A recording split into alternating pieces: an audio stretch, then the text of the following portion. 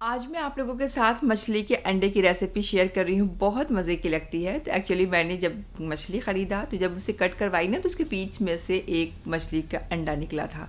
तो मैं सोची, चलो इसकी भी रेसिपी आप लोगों के साथ शेयर करती हूँ, जो कि बहुत मज़े की बनती है और बहुत ही ईजी टू मेक भी है। देखने में ही कितना टेम्पटिंग लग रहा है ना, बहुत मज़ेदार खाने में भी लगता है।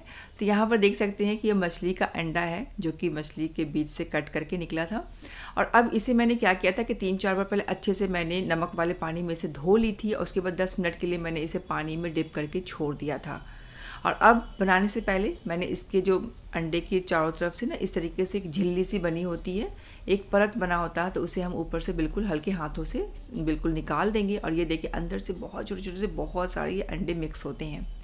अब इसे हमने क्या करना है कि एक मिक्सिंग बाउल में मैंने शिफ्ट कर दिया है और इसमें हम ऐड कर देंगे एक मीडियम साइज़ के प्याज को मैंने बारीक काटा था, उसमें से थोड़ा सा पोर्शन मैं इसमें ऐड कर दूँगी। साथ ही तीन से चार हरी मिर्च बारीक काटी थी थोड़ा सा हरी मिर्च बारीक कटा हुआ ऐड कर दिया और यहाँ पर थोड़ा सा बारीक कटा हुआ हरा धनिया भी मैंने इसमें ऐड कर दिया। अब नमक यहाँ पर half teaspoon quarter teaspoon के करीब यहाँ पर मैंने लाल मिर्च का पाउडर ऐड की हूँ और भुने हुए ज़ीरे का पाउडर भी क्वार्टर टी स्पून अब इन सारी चीज़ों को हम इस तरीके से मिक्स कर देंगे थोड़ा सा चूड़ करते हुए अंडे को हम मिक्स करेंगे। इस तरीके से मैश करते हुए सारी चीज़ों को हमने अच्छे से मिक्स कर दिया है। तो ये मछली का अंडा सारी चीज़ों के साथ मिक्स हो चुका। अब यहाँ पर एक हैवी बॉटम कढ़ाई को चूल्हे पर चढ़ाई इसमें दो बड़े चम्मच सरसों का तेल हम ऐड कर देंगे। साथ ही जब तेल अच्छे से गर्म हो गया देन वन टेन स्पून यहाँ पर बारीक वाली राई ऐड कर दी। अब यहाँ पर जो हरी मिर्च हमने बारीक कटा था, वो ऐड कर दिया। बारीक कटे हुए प्याज जो बाकी बचे हुए थे, उसे ऐड कर दी। अब मीडियम फ्लेम पर ही इसे यूँ ही चलाते हुए हमें प्याज को थोड़ा सा सुनहरा कलर आने तक हम भून लेंगे। इसे मैंने मीडियम फ्लेम पर ही यूँ ही चलाते हुए इसे तो बस थोड़ा सा भून लिया था, जैसे ही प्याज का कलर थोड़ा सा चेंज होने लग गया लाइट गोल्डन कलर आ गई देन मैंने इसमें ऐड कर दी थी वन टी स्पून कश्मीरी मिर्च का पाउडर क्वार्टर टी स्पून हल्दी का पाउडर और क्वार्टर टी स्पून यहाँ पर धनी का पाउडर और हाफ़ टी स्पून भुने हुए ज़ीरे का पाउडर इन सारे ड्राई मसालों को भी हम अच्छे से थोड़ा सा मिक्स कर देंगे और फिर एक मीडियम साइज़ के टमाटर को पीस के हमने इसमें ऐड कर दिया है। अब मीडियम टू लो फ्लेम पर ही यूँ ही चलाते हुए इसके अच्छे से भुनाई कर लेनी है हमें अब इसी बीच में मैंने यहाँ पर चार से पाँच लहसुन की कलिया को कूट कर हम इसमें ऐड कर देंगे। इसका फ्लेवर बहुत अच्छा आता है इस रेसिपी में। अगेन हमने इसकी मिक्स करते हुए भुनाई कर लेनी है, तब तक जब तक कि इसकी ऑयल बिल्कुल अच्छे से सेपरेट ना हो जाए। देख सकते हैं, तीन से चार मिनट तक मैंने मीडियम फ्लेम पर यूँ चलाते हुए इसे भून लिया था। टमाटर का सारा एक्स्ट्रा वाटर बिल्कुल रिड्यूस हो चुका। मसाले बहुत अच्छे से भून चुके हैं। अब इस पॉइंट पर हम इसमें पानी ऐड कर देंगे। तो मैंने करीब यहाँ पर तीन चौथाई गिलास पानी ऐड किया था। मिक्स करके इसे कवर कर देंगे और चार से पाँच मिनट तक मीडियम टू लो फ्लेम पर हम इसे पकने देंगे। चार से पाँच मिनट के बाद कवर को हटाएँगे। देख सकते हैं, इसका फिफ्टी परसेंट पानी बिल्कुल रिड्यूस हो चुका है। मसाले हमारे बहुत अच्छे से पक चुके हैं। अब यहाँ पर हमने क्या करना है, इसे ढककर बिल्कुल धीमे धीमे आँच पे हम इसे पकने देंगे दूसरी तरफ़। एक फ्राई पैन के चूल्हे पर चढ़ा या इसमें एक छोटी चम्मच ऑयल डालकर इसे अच्छे से स्प्रेड कर देंगे, फैला देंगे।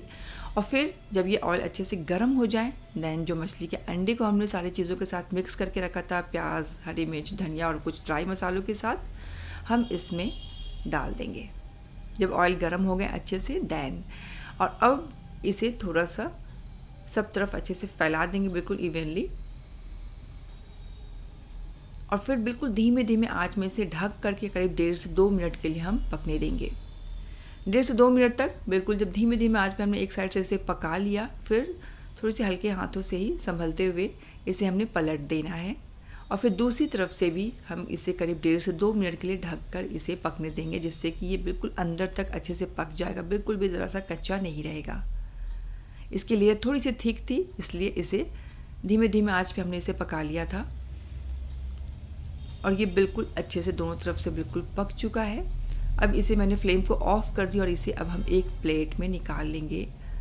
उसके बाद इसे हम पीसेस में डिवाइड कर देंगे। तो पीसेस यहाँ पर अपने पसंद के मुताबिक छोटी, बड़ी, जैसी भी साइज़ के आप रखना चाहें, आप रख सकते हैं। शेप आप जैसा भी देना चाहें, आप दे सकते हैं। तो मैंने यहाँ पर थोड़ी सी स्क्वायर शेप में कट किया था। इस तरीके से हमने नाइफ़ से, चाकू से इसे काट ली थी। और आप चाहें तो इस पॉइंट पर आप इसमें ग्रेवी में इसे ऐड ना करें। चाहें तो इसे गर्मा गर्म हरी चटनी या फिर सॉस के साथ आप इसे सर्व कर सकते हैं। देख सकते हैं कि बहुत ही ज़्यादा स्पॉन्जी फ्लफ़ी बिल्कुल जालेदार ये बनकर तैयार हो चुका है। दूसरी तरफ़ धीमे धीमे आज भी हमने पकने के लिए छोड़ दिया था तो ग्रेवी भी हमारी बहुत अच्छे से डन हो चुकी है। अब इस ग्रेवी में जो हमने अभी मछली के अंडे के पीसेस किए हैं इसे हम इसमें डाल देंगे। और उसके बाद बारीक कटा हुआ हरा धनिया इसके ऊपर ऐड कर देंगे। और फिर थोड़ा सा अच्छे से मिक्स करते हुए, अगेन हम इसे ढक कर डेढ़ से दो मिनट के लिए बिल्कुल धीमे आँच पे पकने देंगे ताकि ग्रेवी का टेस्ट अच्छे से मछली के अंडे में मिक्स हो जाए। और ये हमारा मछली के अंडा विद ग्रेवी बनकर रेडी हो चुका है, फ्रेंड्स। बहुत ईजी टिपिंग है, बहुत मज़े की लगती है। तो ज़रूर आप लोग इस रेसिपी को ट्राई करें, अपना फीडबैक ज़रूर मेरे साथ शेयर करें और आखिर में दिल साफ़ रखें, ज़बान पाक रखें, अपने अपनों का ख्याल रखें। कोई अपना है तो उसके साथ धोखेबाजी, चालबाजी बिल्कुल भी नहीं करें। मेरी इस वीडियो को एंड तक देखने के लिए बहुत बहुत थैंक्स